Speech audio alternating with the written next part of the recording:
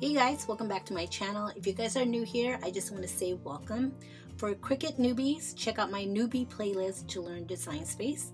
And please don't forget to click subscribe if you haven't already. And make sure you hit the notification bell next to it so you don't miss any of my videos. Today I will be making a round wood tray.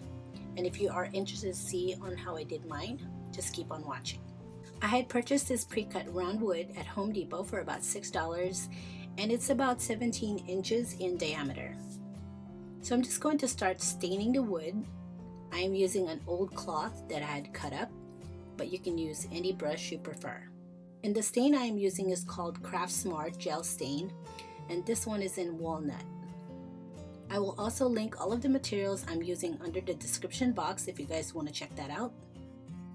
So right here, I'm just going to make sure I get a good coverage of the stain onto the wood all around it. Then I just take a paper towel to wipe up all the excess stain and then I just let it dry. I'm using an adhesive vinyl 631 as my stencil, which I've already cut up with my Cricut.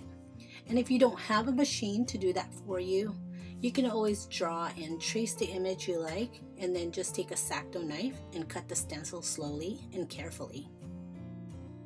Then I'm just going to weed the vinyl that I don't need.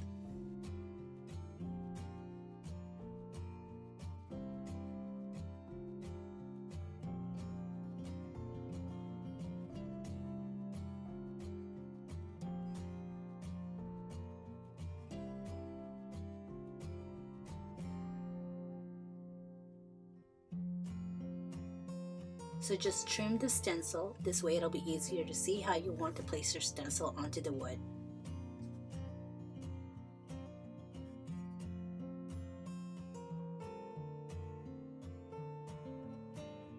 Then take my transfer tape and place it over my stencil and then burnish.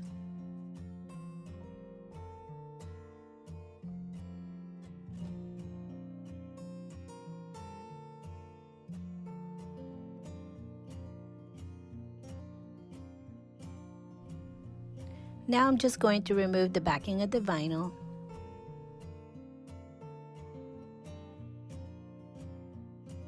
Then find the placement where the vinyl should be, then burnish.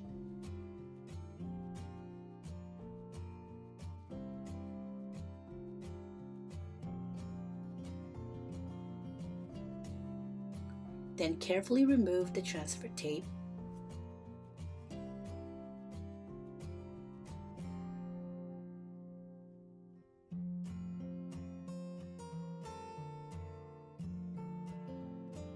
A lot of the crafters use Mod Podge before painting. Uh, this is supposed to minimize the bleeding of the paint.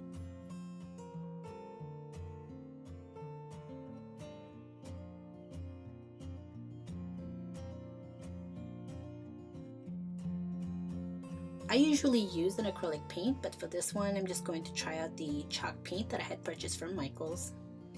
I did a couple of layers just to achieve that pop of the image since it's such a thin text.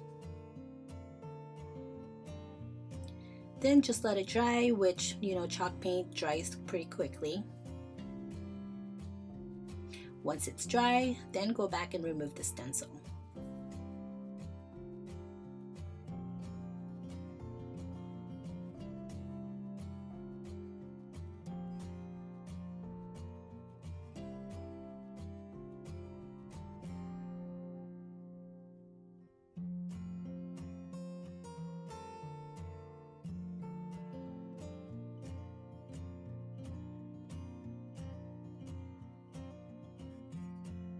I have these handles that I had purchased from Home Depot and they were under $2 each. And right here, I'm just kind of eyeballing the placement of the handles. Then I just drill the screws in